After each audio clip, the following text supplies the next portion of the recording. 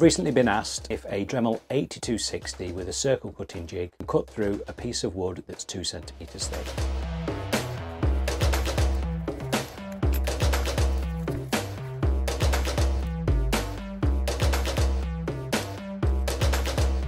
I'm going to drill a hole at the back of the disc for the pin to fit into.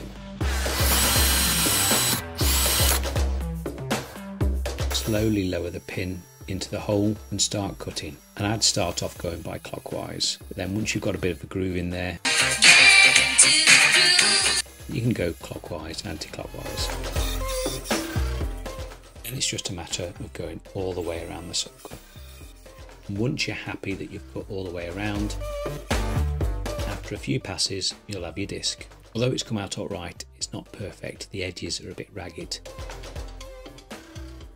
Love you.